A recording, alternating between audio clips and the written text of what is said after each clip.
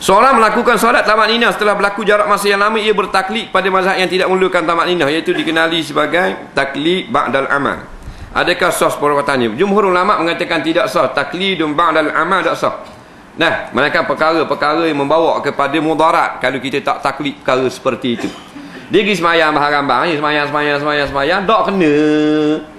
Tak bila dia ngaji tak kena, tak betul, tak sah. Dia pun cari mazhab mana orang kata sah. Kok ada? Oh, ada mazhab ni kata sah. Dia taklid satu tak boleh. Nampak?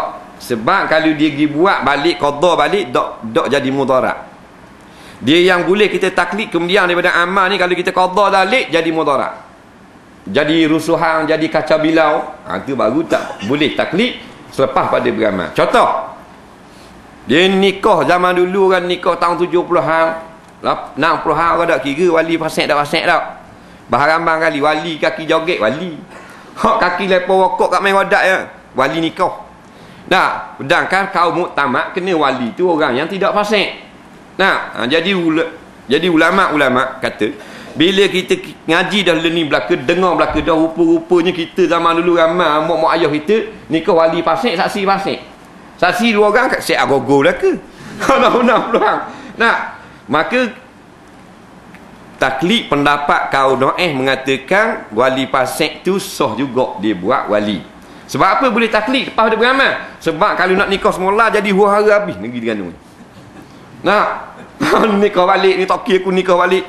Esok gini mana nikah tak nyaku semula. Faham tak? Jadi rata jadi punuh hana habis kau. Ha, tu tengok ulama nak? Dalam ulama ni dalam kita ikut say tu nak? Dia ada kaedah dah.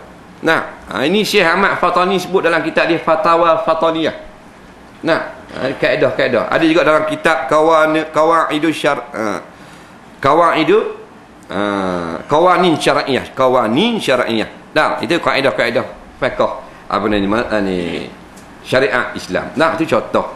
Dah. Ha, jadi kalau benda tu kita kena qada balik, dak jadi huru hara, maka tak boleh benda tu. Kena qada balik.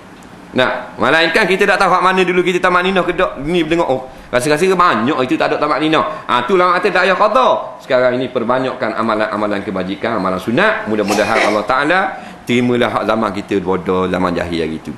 Nah, ha